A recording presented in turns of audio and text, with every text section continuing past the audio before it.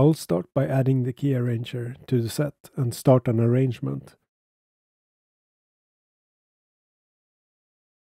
In this case, I used a loop length of 8 bars, since I think the arrangement I will be creating is going to change about every 8 bars.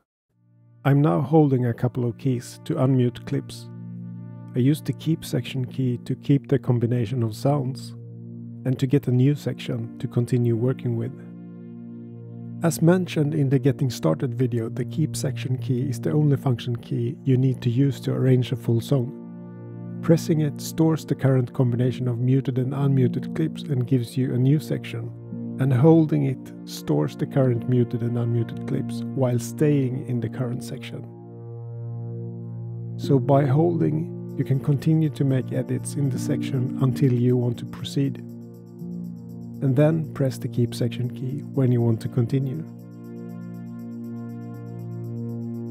The capture feature enables you to capture an arrangement within a section. For example, if you work with 8 bar sections, like we're doing now, you can use this feature to start something in the middle of that section.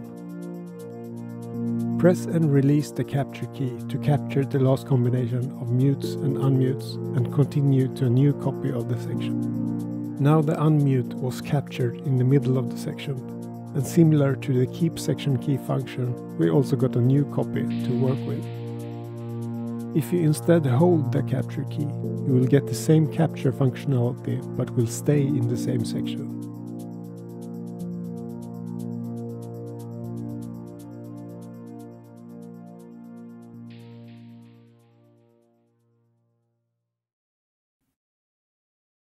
Press and release the section length keys to increase or decrease loop length.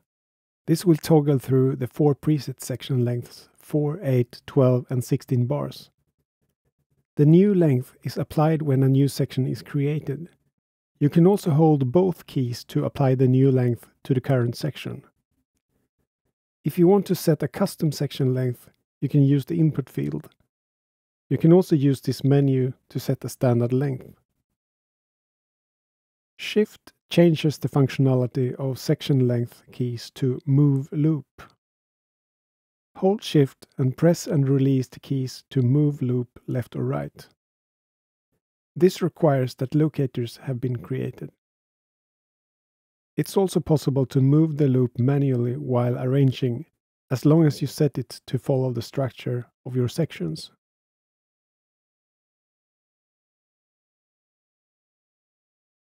To create locators, set a length in minutes, for example 5 minutes.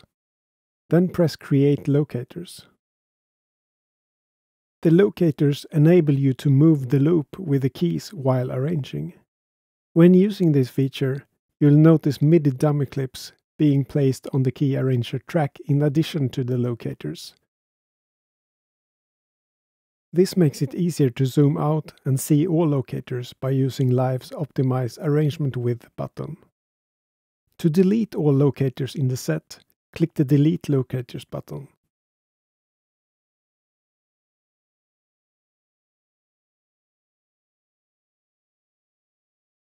Press and release the Change Scene key to toggle between scenes. The new scene selection is applied when a new section is created. You can also hold both keys to apply the new scene selection to the current section. You can also use the Scene menu to select scene. Press the Update button will apply the new scene selection to the current section.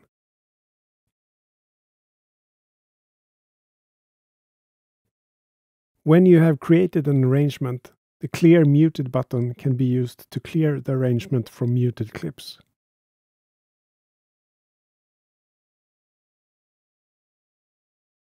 The View Tracks function displays a view of the tracks in your live set. A group in live can be set as voice. This means multiple tracks are mapped to a single key. For example, a group track with three bass tracks can be mapped to a single key. To arrange individual sounds in drum racks, uncheck the voice toggle on the drum rack. This will separate the drum rack and allow you to map the individual sounds to separate keys. You can also use the drum chains to map certain groups of sounds within a rack to a key. Note that all configuration of tracks need to be done before you start an arrangement.